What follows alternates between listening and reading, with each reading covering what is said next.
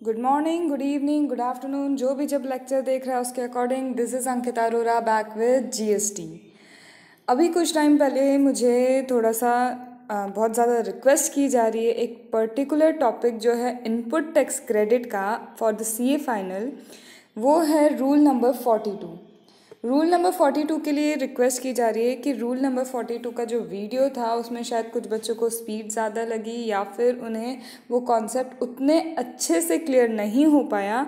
तो अब मैं वापस से वही वीडियो आपके लिए रिकॉर्ड कर रही हूँ और इनपुट टैक्स क्रेडिट की जो प्रीवियस क्लासेस है, वो सारी की सारी प्रीवियस क्लासेस आपके लिए मई 2019 के लिए बिल्कुल वैलिड होने वाली हैं। वहाँ कोई चेंजेस नहीं हैं।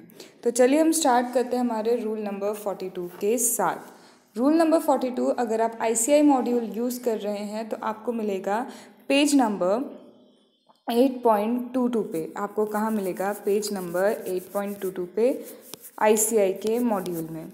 वैसे भी जितना भी जीएसटी अभी आपको लेटेस्ट वीडियोस भी अगर मेरे मिल रहे हैं, आपने देखे हैं तो वो सारे के सारे लेटेस्ट वीडियो में आईसीआई के मॉड्यूल से ही पढ़ाते हुए चल रही हूँ तो आप वो भी रेफ़र कर सकते हैं, जो आपके मई नाइनटीन नवंबर नाइनटीन के लिए बिल्कुल रेलिवेंट है हेल्पफुल हैं। चलिए आते हैं रूल नंबर फोर्टी टू पे। ठीक है?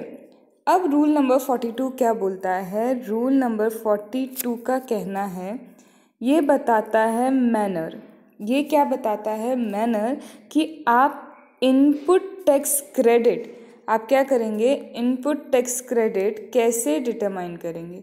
ये क्या बता रहा है? मैनर बता रहा है कि आप क्या करेंगे? इनपुट टैक्स क्रेडिट कैसे डिटरमाइन करेंगे? किन चीज़ों के लिए? For input and input service.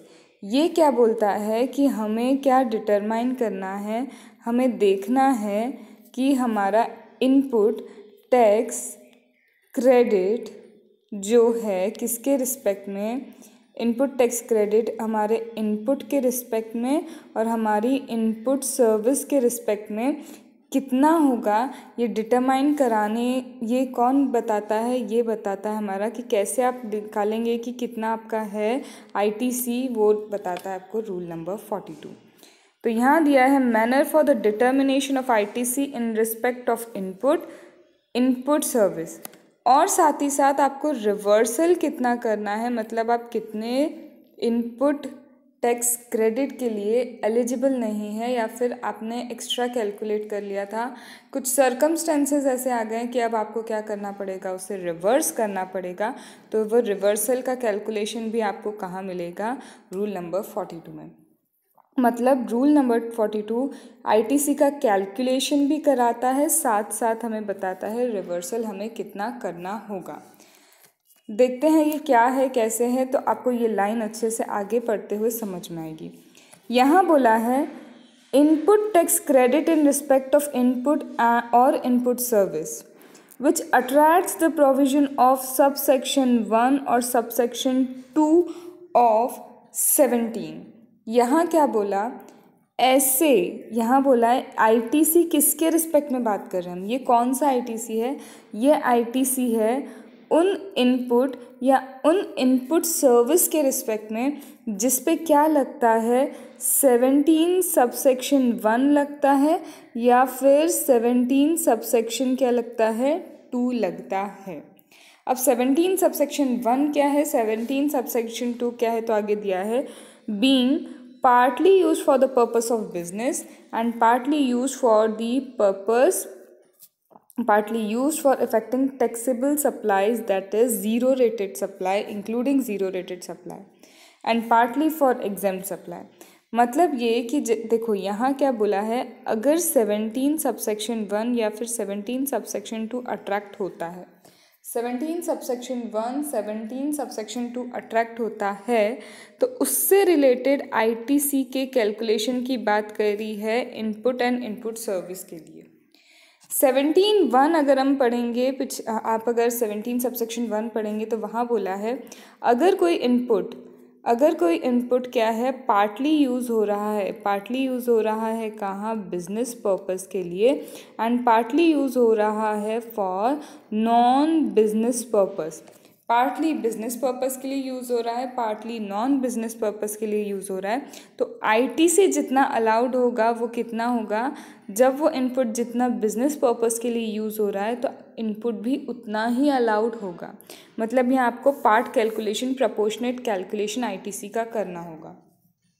इसी तरह सेवनटीन सब सेक्शन टू कहता है सेवनटीन सब सेक्शन टू कहता है कि अगर इनपुट या इनपुट सर्विस यूज़ हो रही है टैक्सेबल सप्लाई करने के लिए तो आईटीसी मिलेगा, लेकिन यहाँ पे क्या हो रहा है, ये इनपुट या फिर इनपुट सर्विस कुछ टैक्सेबल सप्लाई के लिए यूज़ हो रही है, जिस टैक्सेबल सप्लाई में ज़ीरो रेटेड सप्लाई क्या है इंक्लूडेड है। कुछ टैक्सेबल हो रही हैं सप्लाई जिसमें क्या इंक्लूडेड है? ज़ीरो रेटेड सप्लाई इंक्लूडेड है। और कुछ क्या हो रहा है? एग्ज़ाम मतलब एक इनपुट क्या हो रहा है? इनपुट या input service partly taxable supplies के लिए यूज़ हो रहा है पार्टली एग्ज़ाम तो मतलब यहाँ भी प्रपोर्शनेट आईटीसी कैलकुलेट करना है। यहाँ मैं बहुत स्लो चल रही हूँ। हो सकता है आपको लगे कि यहाँ पे बहुत बार एक ही चीज़ रिपीट हो रही है तो रीज़न ये है कि ये रूल बहुत इंपॉर्टेंट है। इस पर प्रैक्टिकल आते हैं और ये एक बार समझ में आ गया तो आपको दूसरी बार रिवाइज करने की ज़रूरत नहीं पड़नी चाहिए। ठीक है? तो यहाँ पे बस ये लिखा है रूल फोर्टी टू में कि अगर पार्टली वाला कॉन्सेप्ट फॉलो होता है किस पे? पार्टली वाला इनपुट या इनपुट सर्विस पे पार्टली वाला कॉन्सेप्ट क्या है? फॉलो होता है। तो हमें आईटीसी भी क्या करना होगा? प्रपोर्शनेट कैलकुलेट करना होगा। ठीक है? अब उसे कैलकुलेट करने का तरीका क्या है, हम कैसे देखेंगे तो वो देखिए। फॉलोविंग मैनर क्या मैनर देख के रखा है? Total input tax that is involve on input input service in a tax period be denoted by T overall जितना भी हमारा क्या होगा इनपुट टैक्स जितना भी हमने क्या किया है इनपुट टैक्स जब जब आप परचेस करके आए थे, जितना जितना आपने परचेस किया, जब जब परचेस करके आए, आपने क्या पे किया होगा? टैक्स पे किया होगा और ये जो हम पेमेंट ऑफ़ टैक्स करते हैं, क्या हम इसे टोटल इनपुट टैक्स बोल सकते हैं? तो यहाँ बोल रहा है कि जितना टैक्स आपने इनपुट खरीदते वक्त या फिर इनपुट सर्विसेज़ लेते वक्त in a period in a tax period आपको टैक्स पीरियड पता है पर्टिकुलर मंथ मंथ का चलता है।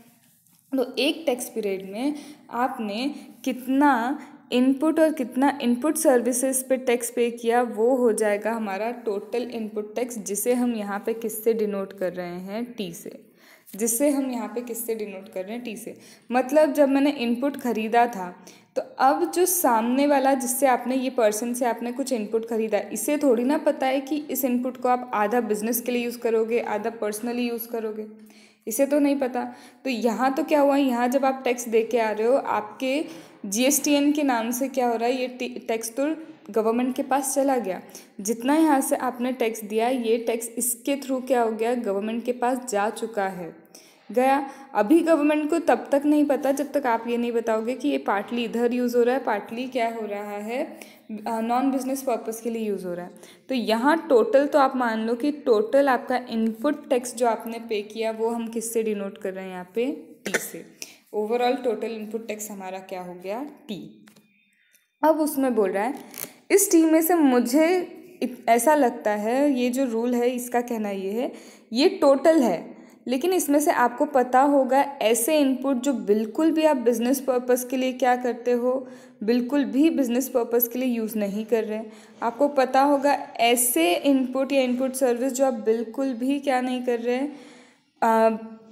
एग्ज़ाम टैक्सेबल सप्लाईज के लिए यूज़ ही नहीं कर रहे आपको पता होगा, ऐसे भी इनपुट या इनपुट सर्विस जो आपने सप्लाई किए हैं या फिर लिए हैं ऐसे इनपुट या इनपुट सर्विसेज़ जो आपने क्या किए, ली है, जिसका क्रेडिट आपको नहीं मिलना मतलब ब्लॉक्ड ब्लॉक्ड क्रेडिट भी आपको पता होंगे कौन कौन से हैं तो उससे तो इसमें से आप खुद निकाल ही सकते हो। तो यहाँ देखो वो क्या बोलता है amount of input tax out of T that attributes to input या input service intended to be use exclusively exclusively for the purpose other than business अब यहाँ क्या बोला उसने कि अगर आप क्या कर रहे हो आप यूज़ कर रहे हो कुछ इनपुट या इनपुट सर्विस और आपको पता है वो बिल्कुल एक्सक्लूसिवली वर्ड याद रखो। बिल्कुल वो क्या होने वाले हैं? Other than business purpose use होने वाले। तो आपने पढ़ा था सिक्सटीन सबसेक्शन वन आपने मेरे साथ पढ़ा था, पिछली बार के आप वीडियोस देखिए सिक्सटीन सबसेक्शन वन था। उसमें स्पेसिफिकली ये था कि अगर कोई इनपुट या इनपुट सर्विस बिज़नेस पर्पस के लिए यूज़ होगी, तब उस रजिस्टर्ड पर्सन को उसका आईटीसी अवेलेबल होगा। पर यहाँ आपको पता है कि आप एक्सक्लूसिवली क्या कर रहे हैं? Exclusively other than business purpose के लिए इसको यूटिलाइज कर रहे हैं। इसका मतलब जितना टोटल आपने यहाँ पे क्या है, जितना टोटल आप इनपुट टैक्स भर के आए, उसमें से कम से कम टी वन माइनस कर दो। टी वन मतलब क्या? कि जो एक्सक्लूसिवली नॉन बिज़नेस पर्पस से रिलेटेड चीज़ें लेके आए और उसमें आपने जो टैक्स भरा, उसका क्रेडिट तो नहीं मिलना तो वो तो आप क्या कर सकते हो? माइनस कर सकते हो सब्ट्रैक्ट कर सकते हो। यहाँ तक आई बात समझ में? अब, आगे क्या बोलता है? फिर एक काम करो, इस टी में से और भी चीज़ें माइनस करो। ये जो आपने अपना क्या माना टोटल इनपुट आपने जो दे दे के आए हो परचेस करते वक्त जितना टैक्स दे के आए, वो आपका इनपुट बना। उसमें से आपने नॉन बिज़नेस पर्पस वाला क्या कर लिया? N B is non business non business purpose से रिलेटेड जितना आपका आईटीसी था, आपने वो माइनस कर दिया, जो आपको पता था स्पेसिफिकली स्पेशली किसके लिए है? नॉन बिज़नेस पर्पस के इनपुट्स हैं। अब क्या करो? आप फिर से सब्ट्रैक्ट करो। वो इनपुट या इनपुट सर्विस में दिया हुआ टैक्स वो इनपुट या इनपुट सर्विस में दिया हुआ टैक्स जो आप अच्छे से जानते हैं कि सिर्फ़ एग्ज़ाम सप्लाई में यूज़ होगा। तो अब क्या करो अमाउंट ऑफ़ इनपुट टैक्स आपको क्या करना है? टी में से हटाना है कौन सा? जो आप क्या करते हो, अच्छे से जानते हो कि वो इनपुट और input service intended exclusively from for exam supply वो स्पेसिफिकली किसके लिए? वो स्पेसिफिकली एग्ज़ाम सप्लाई के लिए तो उसको माइनस करो। मतलब टोटल में से सीधे सीधी बात नॉन बिज़नेस पर्पस का जो एक्सक्लूसिव है माइनस किया। फिर माइनस किया, जो एक्सक्लूसिवली किसके लिए है? एग्ज़ाम सप्लाई के लिए इनपुट या इनपुट सर्विस है, उसका आईटीसी माइनस करो। ये दो चीज़ें माइनस की। फिर माइनस करो सेवनटीन सबसेक्शन फाइव वाले आईटीसी जो ब्लॉक्ड क्रेडिट हैं। सेवनटीन सबसेक्शन फाइव जो है, सेवनटीन सबसेक्शन फाइव आपको लिस्ट देता है किसकी? ब्लॉक्ड क्रेडिट की। किसकी लिस्ट देता है वो आपको? ब्लॉक्ड क्रेडिट की लिस्ट देता है। आपको वो ब्लॉक्ड क्रेडिट क्या करने होंगे? सब्ट्रैक्ट करने होंगे क्योंकि उसका आईटीसी तो नहीं मिलेगा। टैक्स दे के आए लेकिन हमें पता है कि आईटीसी नहीं मिलेगा। जैसे कि इसका एग्ज़ाम्पल मैं बताऊँ, इसका एग्ज़ाम्पल था मोटर व्हीकल। मोटर व्हीकल अगर आप परचेस कर रहे हैं, उसमें टैक्स दे के आए, आपको तब तक आईटीसी नहीं मिलेगा, अगर या तो आप ट्रांसपोर्टेशन ऑफ़ पैसेंजर करते हैं, ट्रांसपोर्टेशन ऑफ़ गुड्स करते हैं, या फिर मोटर व्हीकल फर्दर, वो मोटर व्हीकल्स क्या फर्दर सप्लाई के लिए हैं, तब तक आपको क्या नहीं होगा, उसका आईटीसी अवेलेबल नहीं होगा। या फिर इसके बाद इसका और एग्ज़ाम्पल थे कि अगर गुड्स डिस्ट्रॉय हो जाते हैं लॉस्ट हो जाते हैं तो गुड्स डिस्ट्रॉय हो लॉस्ट हो, कुछ भी हो, लेकिन उसका क्या नहीं मिलेगा? आपको आईटीसी नहीं मिलेगा। आपने क्या किया? आप पे अगर सेवेंटी थ्री सेवेंटी फोर के सेक्शन अप्लाई हो जाते हैं फ्रॉड वाले या अदर देन फ्रॉड वाले, जिसके कारण आपको क्या करना पड़ा? टैक्स पे करना पड़ा। तो उस टैक्स पे जो आपने टैक्स पे किया, उसका आईटीसी आपको नहीं मिलेगा। ऐसे कुछ एक लिस्ट है, वो आप एक बार लिस्ट देख ला। उसमें आपको पता चलेगा कौन कौन से ब्लॉक्ड क्रेडिट हैं। तो इसका मतलब जो कॉमन सबसे मेन हमने जितना टैक्स भरा, उस टैक्स में से पहले नॉन बिज़नेस पर्पस वाला आईटीसी माइनस कर लो। आपको पता होगा कि कौन कौन से ऐसे इनपुट या इनपुट सर्विस मैंने नॉन बिज़नेस पर्पस के लिए खरीदे। वो माइनस करो, आप एग्ज़ाम सप्लाई वाले माइनस करो और आप क्या करो? Seventeen subsection five blocked credit minus कर दो। ये सब करने के बाद आपको क्या मिलेगा?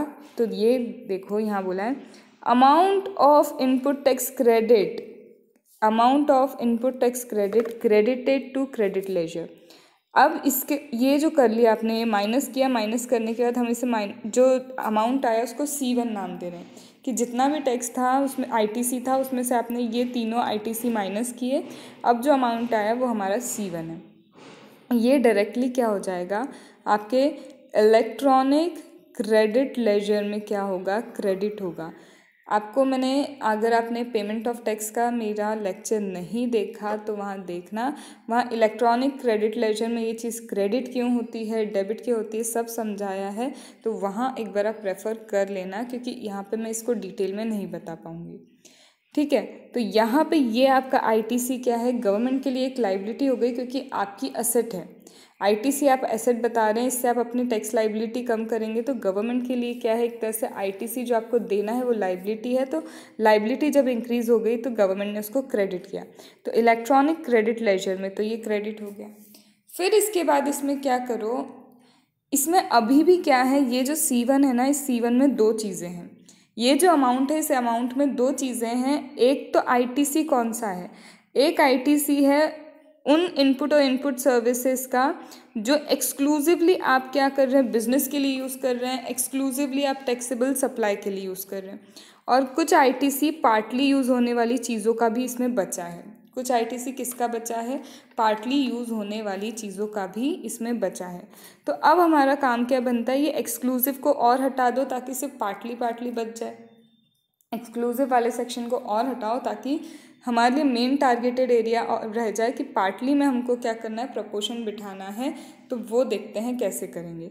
तो अब बोला है amount of input tax credit attributable to input या input service intended to be use exclusively for affecting supplies other than exempted but include zero rated अब आप क्या करो इसमें से? वो आईटीसी आप क्या करो? वो आईटीसी जो क्या है आपका? स्पेसिफिकली उन इनपुट या इनपुट सर्विसेज़ पे आपने दिया था, उन इनपुट या इनपुट सर्विसेज़ पे आपने दिया था जो क्या हो रहे हैं एक्सक्लूसिवली क्या कर रहे हैं, आप यूज़ कर रहे हैं for taxable supply that include zero rated supply अब वो माइनस करो। तो देखो, हमने क्या किया? सी वन जो हमारा अमाउंट था, उसमें से एक्सक्लूसिव सेक्शन क्या कर दिया? सब्ट्रैक्ट कर दिया। अब हमारे पास क्या बचा? सी टू मतलब ये पार्टली वाला जो कॉन्सेप्ट है ना, सिर्फ़ पार्टली वाला यहाँ पे क्रेडिट बचा है। पार्टली मतलब जिसको जिसमें से हमको ऐसा एरिया निकालना है जो बिज़नेस पर्पस का है टैक्सेबल सप्लाईज का है और अलग करना है नॉन बिज़नेस पर्पस वाला और नॉन टैक्सेबल मतलब एग्जेम्प्ट वाला। ये जब अलग हो जाएगा तो ये वाला जो पोर्शन अलग हुआ है, हम इसको क्या करेंगे? आउटपुट टैक्स में ऐड कर देंगे ताकि हम टैक्स इतना क्या कर लेंगे, उनसे रिकवर कर लेंगे। इतने का आईटीसी उनको अवेलेबल नहीं होगा मतलब आईटीसी का रिवर्सल ठीक है? तो अब देखो यहाँ पे। यहाँ तक आ गए हम सी टू पे। अब बोल रहा है कि कैसे निकालोगे आप? क्या चीज़ कि आपने जो इनपुट या इनपुट सर्विस खरीदी, उसको एग्ज़ाम सप्लाई में कितना यूज़ किया? आपने उसको क्या किया? एग्ज़ाम सप्लाई में कितना यूज़ किया? अब वो कैसे निकालोगे? तो उसके लिए बोला है आपको प्रपोशनेट मेथड यूज़ करना है। आपको कौन सी मेथड यूज़ करनी है? ये यूनिटरी मेथड जो हम बचपन में करते थे, वैसी है उसको कैसे करोगे कि जब मेरा टोटल टर्नओवर ठीक है aggregate value of the exam supply total turnover की बात कर रही हूँ मैं, जब आपका टोटल टर्नओवर सपोज़ कीजिए, जब मेरा टोटल टर्नओवर इतना है तो मेरे, मैंने जो आईटीसी दिया वो कितना था? इतना। सपोज़ करो दस करोड़ का आपका टोटल टर्नओवर है तो आप आईटीसी एक करोड़ दे के आ रहे हैं। अब आपको इस टोटल टर्नओवर में ये तो पता होगा कि आपका एग्रीगेट एग्ज़ाम टर्नओवर कितना है। तो एग्ज़ाम टर्नओवर अगर इसमें से मेरा इतना है तो आईटीसी कितना?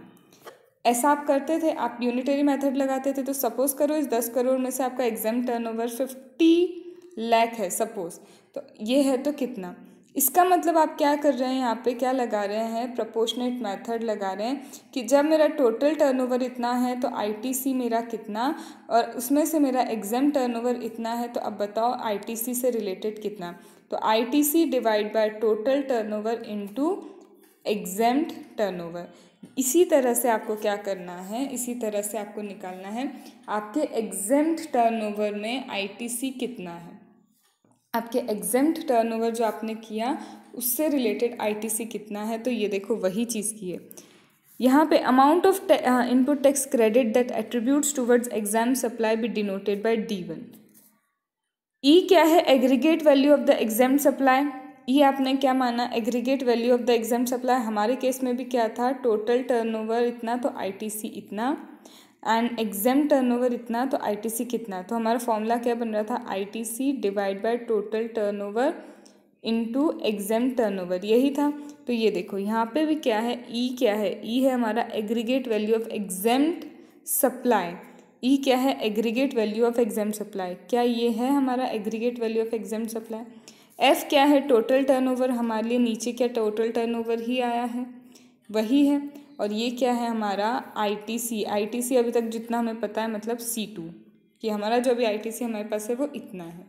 तो इस तरह से आप क्या निकाल लेंगे कि आपका एग्ज़ाम सप्लाई में होने वाला आईटीसी कितना है, अब उसे भी आप क्या करेंगे? उसे भी बट ऑब्वियस सी टू से क्या करेंगे? हम माइनस करेंगे। ये डी वन जो अमाउंट है, क्या होगा? सी टू से माइनस हो जाएगा। क्यों माइनस होगा? क्योंकि ये ऐसा है जो एग्ज़ाम सप्लाई का और एग्ज़ाम सप्लाई पे दिया गया टैक्स उस पर आई नहीं मिलता। अगर इन केस आपके पास टोटल टर्नओवर अवेलेबल ना हो तो क्या करेंगे? अगर हमारे पास क्या है? टोटल टर्नओवर पिछली बार का अवेलेबल नहीं है यहाँ दिया है provided where registered person does not have any turnover during the tax period और aforesaid information is not available आपके पास ये exam value total turnover available नहीं है तो आप क्या करो? आप ये value low last tax period for which detail of the turnover are available आप वो लास्ट पीरियड के ले लो जब आपके पास क्या है, ये डिटेल अवेलेबल है। मतलब जिस मंथ में आपको ये सारी चीज़ें कैलकुलेट करनी है, उस मंथ से पिछले मंथ या फिर उससे पिछले मंथ जहाँ आपको ये लास्ट टर्न ओवर अवेलेबल मिल रहा है, जिस प्रीवियस टैक्स पीरियड में आपको ये अवेलेबल मिल रहा है, वहाँ का लेके भी आप क्या कर सकते हो कैलकुलेट कर सकते हो। ये आया। अब हमने क्या निकाला? अभी एग्जाम्प्ट निकाला। अभी भी हमारे सी टू में एक डी वन वाला निकल गया, लेकिन एक और डी टू निकालो। ये किस चीज़ के लिए? कि आपने नॉन बिज़नेस पर्पज़ के लिए कितना आईटीसी दिया है। नॉन बिज़नेस पर्पज़ वाला भी तो निकालना पड़ेगा तो उसके लिए क्या बोला है? कि amount of credit that attributes to non business purpose if common input and input services are use partly for business and partly for non business purpose that is denoted by D two अगर partly business partly non business purpose के लिए हो रहा है तो आपको अब क्या करना होगा? जो कॉमन क्रेडिट हमार, हमें मिला था ना, उसका आप क्या सीधे करो? फाइव परसेंट फाइव परसेंट किसका ले लो? सीधे सीधे आप किसका ले लोगे? सी टू का फाइव परसेंट ले लो। मतलब मान लिया जाएगा सी टू का five percent suppose D two आया, ये मान लिया जाएगा।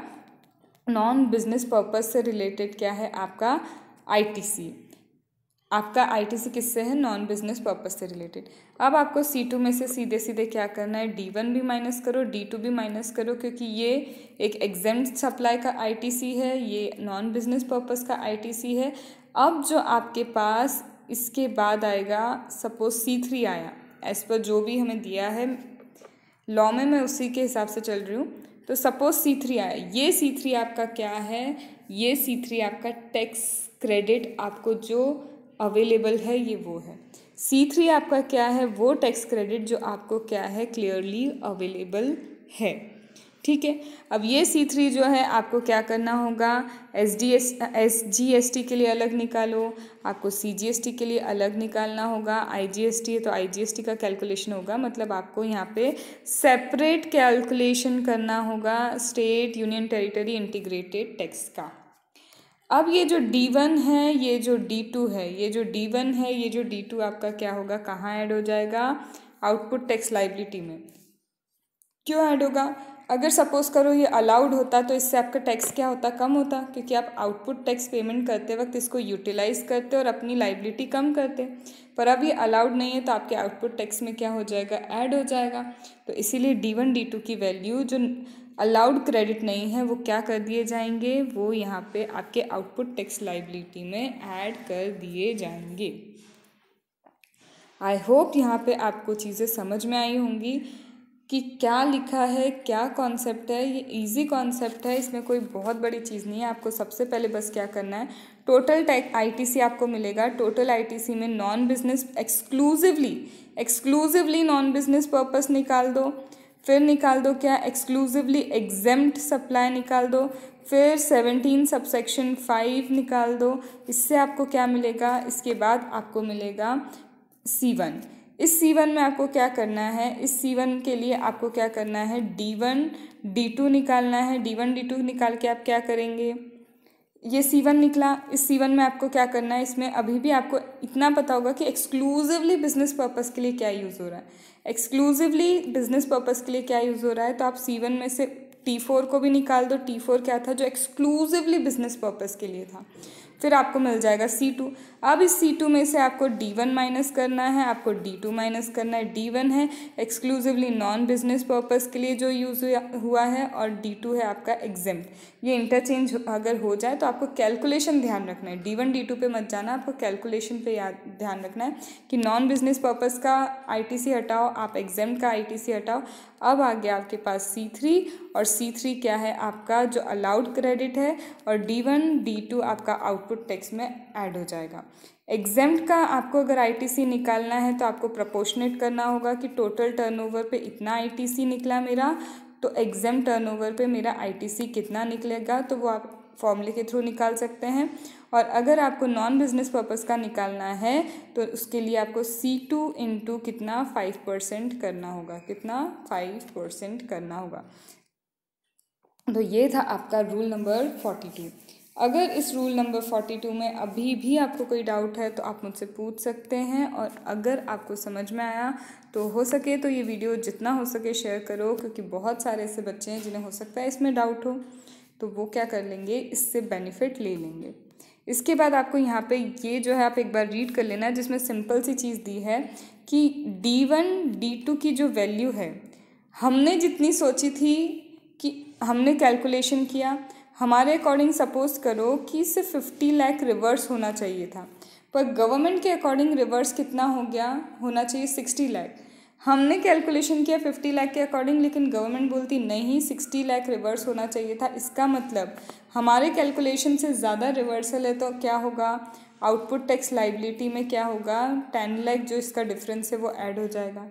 रिवर्स हो गया। हमने फिफ्टी लाख रिवर्स कर दिया, लेकिन गवर्नमेंट के अकॉर्डिंग कितना रिवर्स होना चाहिए था?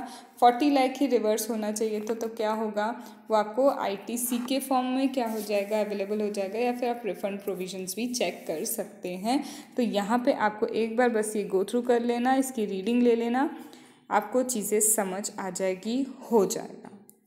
तो अभी यहाँ पे हमारा फोर्टी टू वाला रूल इसके लिए ख़त्म होता है। अब हमारा चालू होगा फोर्टी टू रूल जो कैपिटल गुड्स के लिए है तो उसे मैं नेक्स्ट वीडियो में कवर अप करूँगी।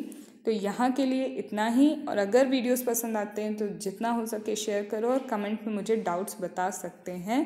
Thank you